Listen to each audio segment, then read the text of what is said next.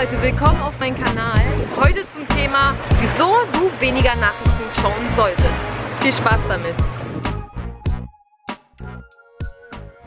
Wieso, Leute, sage ich das jetzt? Wieso sage ich jetzt, äh, schaut weniger Nachrichten, informiert euch nicht, ähm, und und und. Jetzt werdet jetzt wahrscheinlich denken, äh, aber wenn ich nicht informiert bin und wenn ich keine Nachrichten schaue, wie soll ich dann mich mit den Leuten unterhalten? Ich meine, ich bin doch dann gar nicht gebildet, ich kriege doch dann nichts mit, was auf der Welt ist und ich muss doch informiert sein. Ich muss doch wissen, was da los ist, wann der nächste Krieg ausbricht oder wer sich wieder abgeschlachtet hat.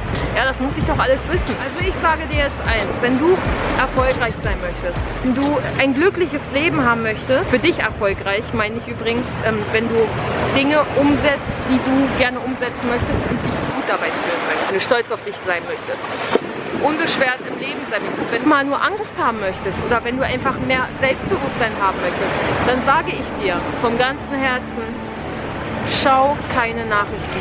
Und schon gar nicht morgens, wenn du in den Tag startest. Es ist nicht unbedingt förderlich für dich, Nachrichten zu schauen. Einfach aus dem Grunde, weil Nachrichten reden immer über negative Dinge. Nachrichten lassen dich schlecht fühlen. Nachrichten lassen dich ängstlich fühlen. Nachrichten lassen dich negative Gedanken haben. Durch negative Gedanken wirst du auch selber dich wie ein Stück Elend fühlen. Es ist einfach so. Wie willst du selbstbewusst durchs Leben starten, wenn du denkst, dass die ganze Welt scheiße ist und dass alles so schlecht ist, dass sich nur um Tod und Abschlachten und Konsumieren und Geld, wie sich alles so darum dreht. Du das jeden Tag eintrichterst. Wie, bitteschön, sollst du dann positiv deinen Zielen hinterherjagen? Du hast den Fokus ja ganz verloren. Wie willst du dich auf deine Ziele fokussieren, wenn du nur diese anderen schlechten, negativen Gedanken in dir hast, die dich total beeinträchtigen? Auch wenn du das selber nicht merkst, aber unbewusst beeinflussen sie dich ganz, ganz dolle.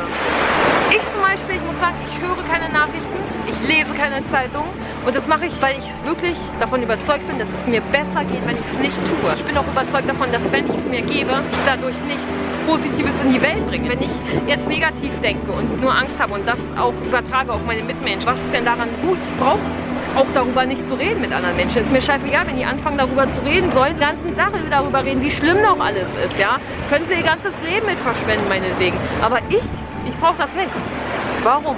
Sag mir einen Grund. Meine, worum geht es denn im Leben? Fragst du dich das manchmal, worum es in deinem Leben geht? Es geht darum, sich weiterzuentwickeln und es geht vor allem darum, glücklich zu sein und unbeschwert zu leben. Und wenn du denkst, das Leben so schlecht ist, dann frag dich mal, warum du das denkst. Frag dich mal, woher deine Glaubenssätze kommen. Wir kommen alle auf die Welt als Baby und wir wissen von nichts. Und dann wachsen wir in einer Familie auf und natürlich überträgt sich diese Glaubenssätze an uns, weil wir das ja eingetrichtert bekommen, von klein auf.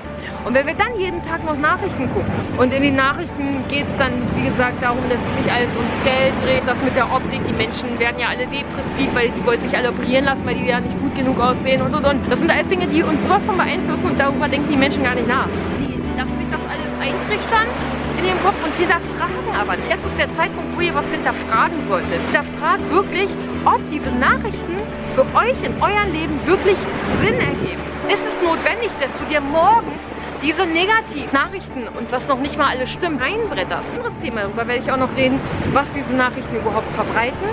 Wer entscheidet das denn?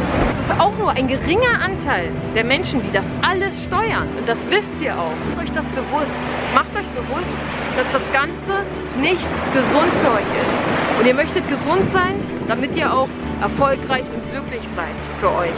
Und das ist der Grund, Leute, warum ihr morgens und abends und allgemein keine Nachrichten schauen müsst. Lasst euch nichts einreden. Auch von Menschen, die Nachrichten gucken und sagen, ihr müsst doch informiert sein. Nein, ihr müsst überhaupt nichts. Du musst so das tun, was dich gut fühlen lässt, was dich glücklich macht. Das musst du. Und das ist alles, was du musst. Und sterben vielleicht. Aber das war's, Leute. Das war's. Auf jeden Fall das Thema, warum du mehr mit positiven Gedanken in den Tag starten solltest. Deswegen, bevor du dir die Nachrichten reinbretterst, ja, schau dir lieber ein Video an über erfolgreiche Menschen, die davon reden, wie sie zum Erfolg gekommen sind, indem du dir Persönlichkeitsentwicklung Videos anguckst oder Motivationsvideos. Davon kannst du nicht genug bekommen, glaub mir das. Und dann wirst du auch sehen, wie du dich veränderst, wie dein, auch dein Weltbild sich verändert und wie vor allem du auch andere Menschen in deiner Umgebung haben wirst, wenn du selber deinen Fokus veränderst. Du wirst sehen, du wirst mehr mit erfolgreichen Menschen sein, mit positiv denkenden Menschen und vieles wird sich in deinem Leben verändern, wenn du deinen Fokus auf etwas Positives richtest. Das war auf jeden Fall äh, zu dem Thema, warum du keine Nachrichten schauen solltest.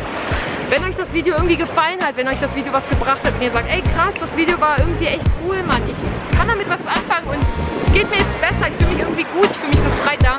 Dann schreibt es doch in die Kommentare. Gebt mir ein Gefällt mir. Oder abonniert mich am besten. Ja, da dann verpasst ihr gar kein Video mehr. Und äh, ich freue mich auf jeden Fall, wenn ihr das nächste Mal wieder dabei seid. Und dann bis zum nächsten Mal.